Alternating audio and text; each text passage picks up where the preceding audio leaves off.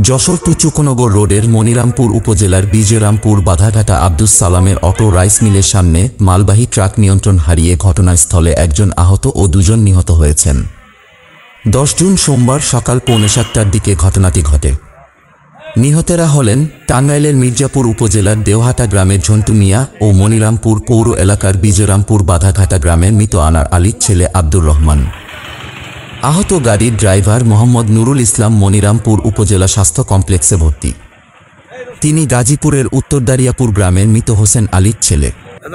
জানা গেছে, সকাল পৌনে সাতটার দিকে বিজয়রামপুর বাধাঘাটা আব্দুস সালামের রাইস মিলের সামনে সালাম ও আব্দুর রহমান পাশাপাশি বসে গল্প করছিল। হঠাৎ একটি মালবাহী ট্রাক নিয়ন্ত্রণ হারিয়ে অফিস কক্ষ ও পুরাতন মিলে ঢুকে পড়লে। ট্রাকের চাপায় পিষ্ট হয়ে ঘটনাস্থলেই মারা যান আব্দুর রহমান ও ট্রাকের মালিক ঝন্টু মিয়া। খবর পেয়ে মনিরামপুর ফায়ার সার্ভিসের কর্মীরা ড্রাইভারকে উদ্ধার করে উপজেলা স্বাস্থ্য কমপ্লেক্সে ভর্তি করে। মনিরামপুর থানার OC A B M Mehedi Masud বলেন, সংবাদ পেয়ে মনিরামপুর থানার পুলিশ ঘটনাস্থল পরিদর্শন করেন। ট্রাক থানা হেফাজতে আছে, এ বিষয়ে আইনগত ব্যবস্থা প্রক্রিয়াধীন।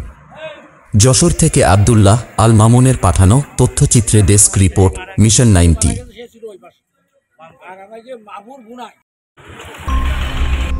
Mission ninety, সংবাদের পিছনে নয়, ভিতরে ছুটি।